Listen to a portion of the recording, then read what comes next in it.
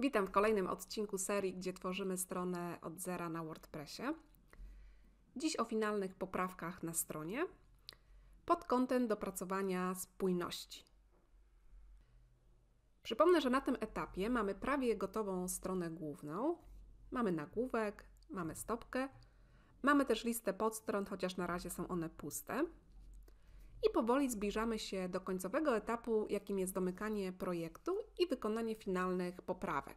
Dziś naszym celem będzie przyjrzenie się stronie niejako z dystansu, żeby zobaczyć, czy stanowi ona spójną całość. No właśnie, strona spójna, czyli jaka?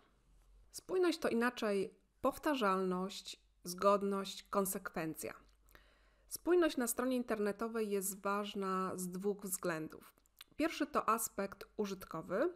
Użytkownik szybciej odnajdzie się na stronie, na której są zachowane pewne prawidłowości, na przykład ważne akcje do wykonania to zawsze zielone przyciski, albo teksty z dużym fontem to wyróżnione nagłówki. Ale mamy też aspekt estetyczny. Spójność graficzna wpływa na pozytywny odbiór strony, świadczy o tym, że strona jest dopracowana i profesjonalna.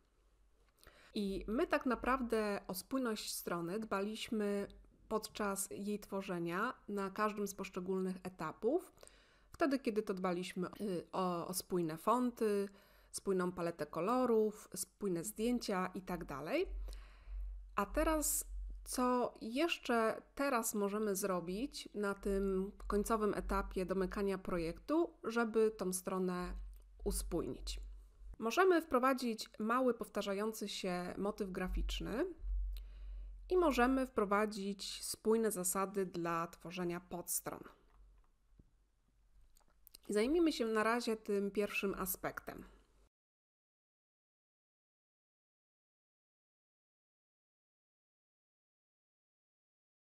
Zacznijmy od przykładów.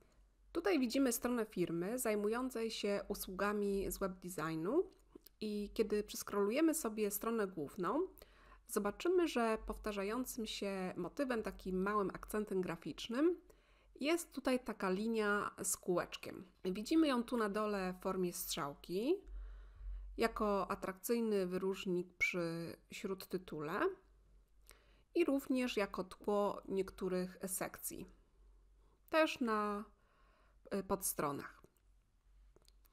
A patrząc na logo, dostrzegamy, że taka kreska z kółkiem również stanowi element logo.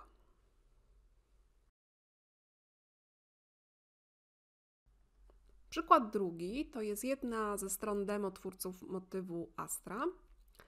Jest to sklep na WordPressie i w typce WooCommerce sprzedający jakieś produkty bio. I tutaj nie trudno zauważyć, że powtarzającym się motywem graficznym jest ta zielona gałązka laurowa. I ponownie, występuje ona również w logo.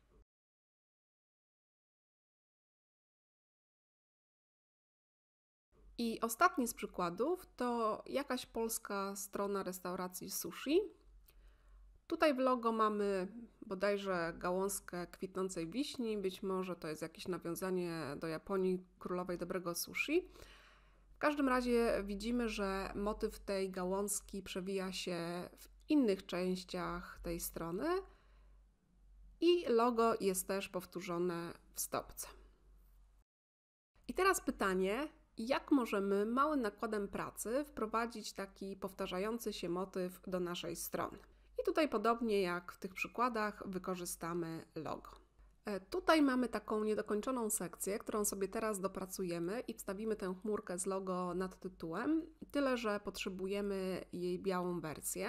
Wracamy na stronę logomaker.com. E, przypomnę, że jest to strona, gdzie możemy sobie stworzyć własne logo. Szczegóły, jak z niej korzystać, omawialiśmy w jednym z poprzednich odcinków. Teraz tylko zmienimy sobie kolor naszej grafiki na biały. Pobieramy obrazek jako plik PNG. Możemy też zmienić nazwę tego pliku. I teraz wracamy na naszą stronę. Otwieramy stronę główną do edycji. Idziemy tutaj do tej sekcji i dodajemy logo mm, jako blok obrazek, bo całą stronę, przypominam, tworzymy z bloków w edytorze WordPressa. E, taki obrazek sobie wyśrodkowujemy, zmniejszamy i umieszczamy nad tytułem tej sekcji. E, przy okazji wstawmy sobie jakieś konkretne treści do tej sekcji. Przykładowo możemy powiadomić naszych czytelników o najbliższym terminie i miejscu szkolenia. Tekst na przycisku zmieniamy na zapisz się i podlinkowujemy stronę zapisu. Przy okazji możemy też dołączyć link do strony z innymi terminami e, i tutaj dodajemy drugi przycisk i przy okazji ponownie możemy zadbać o efekt spójności, bo do tej pory wszędzie tam, gdzie dodawaliśmy dwa przyciski obok siebie, ten mniej ważny był konsekwentnie używany ze stylem kontur, czyli z przezroczystym tłem. I dlatego teraz tutaj również ten drugi przycisk ustawimy sobie jako przezroczysty.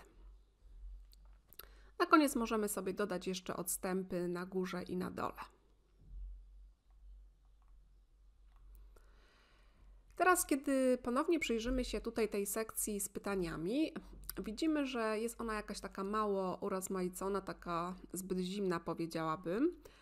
I tutaj jest świetna okazja, żeby ją ożywić, wykorzystując ten powtarzający się motyw graficzny. A więc ponownie wstawiamy obrazek logo, tyle że tym razem w oryginalnej wersji, tej kolorze zielonym. Zmniejszamy jego rozmiar, wyśrodkowujemy, a następnie powielamy ten obrazek i umieszczamy przy pozostałych cytatach.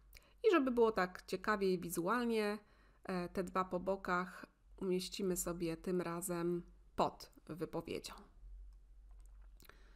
Na koniec ponownie możemy sobie dodać tutaj jakiś mały odstęp. No i teraz, gdy sobie podejrzymy tę stronę na frontendzie, widzimy, że wygląda już na dopracowaną.